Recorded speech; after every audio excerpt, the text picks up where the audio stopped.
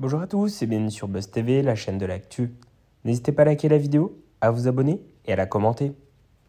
Un choc immense alors qu'il s'apprête à faire son grand retour, Michel Drucker se remémora certainement d'innombrables images de son frère Jean, samedi 12 août 2023. À cette date si particulière, le fondateur ex-PDG d'M6 aurait soufflé sa 81e bougie. C'est en 2003, en plein mois d'avril, dans les Bouches du Rhône, qu'il décède brusquement des suites d'une crise d'asthme. Un terrible drame pour ses proches qui l'aimaient tant.